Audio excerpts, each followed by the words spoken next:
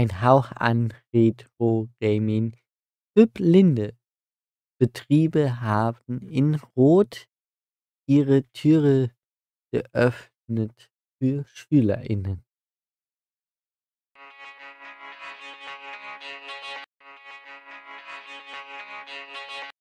Um 16 Uhr konnten sich die SchülerInnen in Rot auf der Lande nach der Ausbildung über verschiedene Berufsfelder informieren und beraten lassen.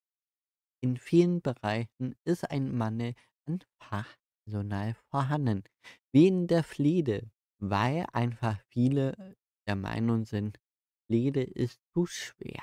Das ist aber nicht so, weil es gibt Hilfsmittel wie dieser Kran. Auf dem Marktplatz war etwa mehr los. Hier waren die Polizei und Rettungshelfer vor Ort. Viele scheuen sich vor der Steuererklärung. Auch hier werden Azubis besucht, die mit der Ausfüllen der Formulare zurechtkommen.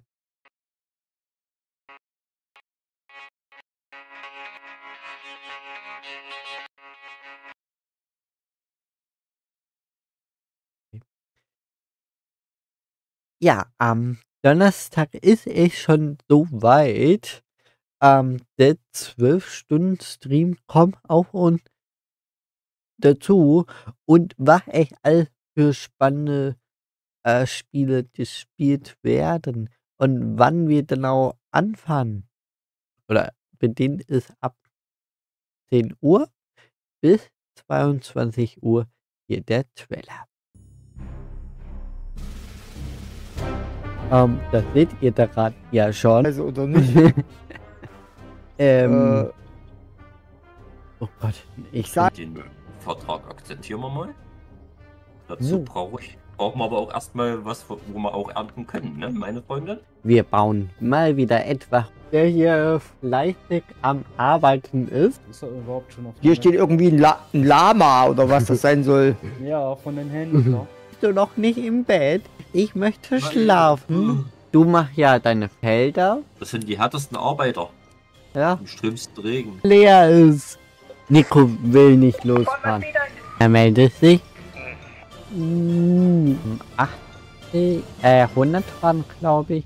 Euro Truck Simulator 2.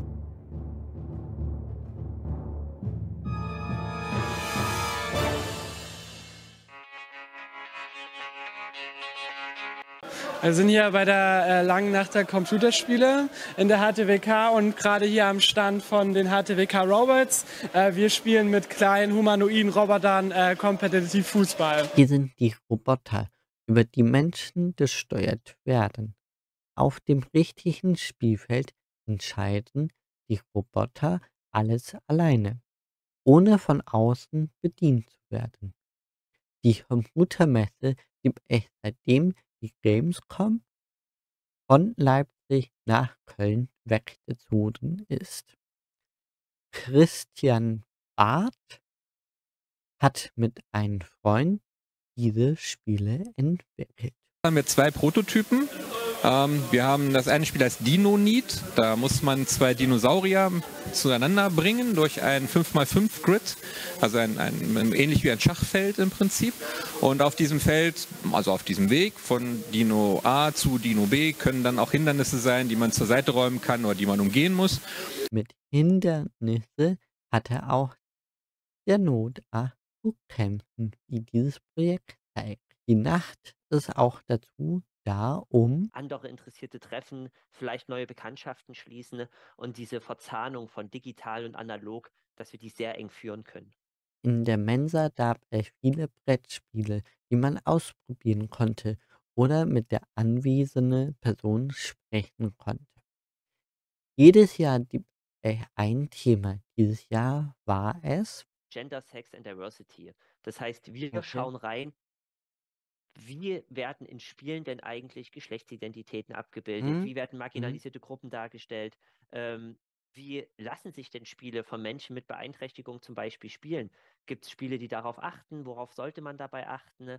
Ähm, ist, das ist eine ganz eigene kleine Welt, tatsächlich für sich, die immer noch viel zu abgekapselt ist, von der wir hoffen, dass wir damit so ein bisschen zeigen können, was alles möglich ist. Bei diesem Game möchte man insbesondere Menschen, die blind sind, an das Spielen begeistern, die mit einer Experience, eine 3D, ein 3D-Audio-Experience. Das heißt, wir arbeiten da mit Spatial Audio, mit räumlich verorteten Soundquellen um den Spieler, um die Spielerin drumherum. Und ähm, die werden dann durch äh, äh, Charaktere, die wir in dem Spiel haben, zum Beispiel eine Fee, die auch so flattert, die dann noch so einen Flatter-Sound hat, im Prinzip durch diesen Raum geführt zu verschiedenen Punkten. Mit einer Erkennung ist es seit über zehn Jahren möglich, dass die Roboter alleine bewegen können. Mit welcher Technik wird echt gemacht? Steuern die nicht von der Seite, ähm, sondern die machen alles selber. Das heißt, die haben dann logischerweise einen kleinen Chip in sich drin, wie halt so ein Computer oder einen kleinen Computer auch in sich drin.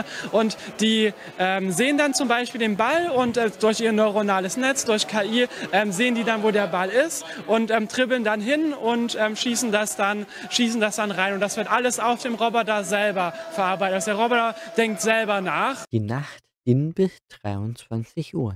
Natürlich war auch etwa online. In äh, LNC Masters, die beide im Livestream laufen, nicht viel mehr zu entdecken geben.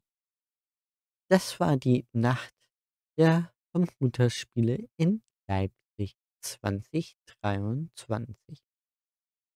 Und da sind auch schon wieder die News der Woche von dieser Woche. Nicht auch wieder so schnell, aber wir sehen uns am kommenden Montag wieder hier und haben einen schöne Woche, kurze Woche. Bis dahin, macht gut, bleibt gesund.